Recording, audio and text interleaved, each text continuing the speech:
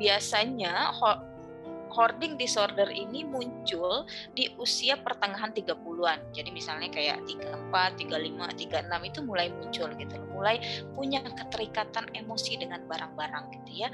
Dan kemudian mulai meningkat kalau dari hasil penelitiannya itu adalah tiga kali lipat di usia 55 tahun ke atas.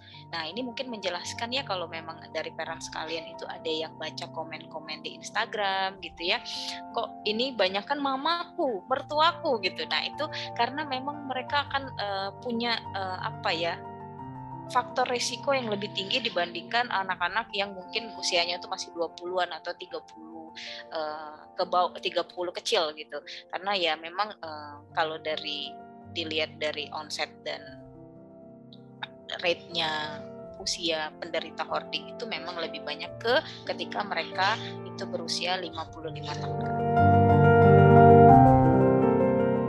Hoarding disorder ini diawali oleh traumatic event. Makanya tadi uh, di awal kan disebutkan bahwa hoarding disorder ini masuk ke dalam kategori obsessive compulsive related dan trauma related karena uh, ternyata ketika dilihat-lihat uh, penyebabnya itu banyak sekali yang di-trigger atau di dipicu ya, di-trigger itu dipicu oleh eh, kejadian-kejadian traumatis, misalnya depresi, kehilangan orang yang disayang gitu ya, kemudian perceraian gitu, yang biasanya itu berhubungan dengan isu-isu uh, apa ya kelekatan sosial gitu. Nah itu kadang-kadang yang uh, menyebabkan bisa memicu perilaku hoarding ya. Termasuk juga mungkin ketika seseorang kehilangan yang uh, orang yang mereka sayang mereka jadi uh, sayang sama benda-bendanya gitu. Oh ya dulu dia pakai ini gitu. Itu ada kenangan emosi tersendiri yang yang muncul.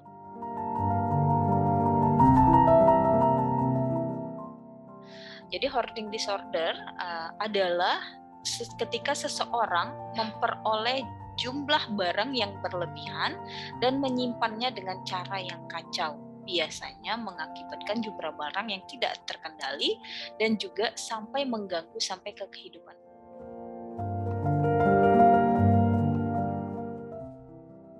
Uh, karena ini karena yang kita bahas ini bukan sekedar hobi yang nanti saya akan jelaskan bedanya antara hoarding dan collecting ya.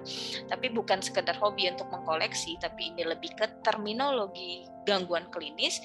Jadi perlu dipahami bahwa gangguan klinis itu sendiri kan banyak ya macamnya parent sekalian ada misalnya gangguan depresi, ada gangguan kecemasan, ada gangguan uh, skizofrenia gitu ya.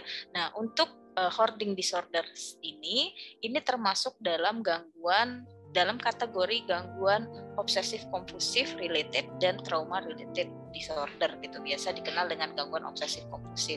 Karena penderitanya biasanya memiliki kebiasaan atau kesulitan atau ketidakmampuan untuk uh, membuang sorry ini saya ada typo untuk membuang suatu barang walaupun tidak ada nilainya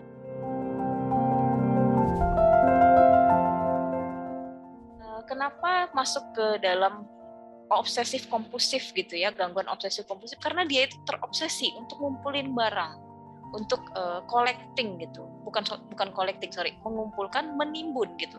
Dan tidak mampu untuk kayak ah kayaknya sayang deh dibuang. Ah nggak mau ah dibuang gitu ya lebih ke seperti itu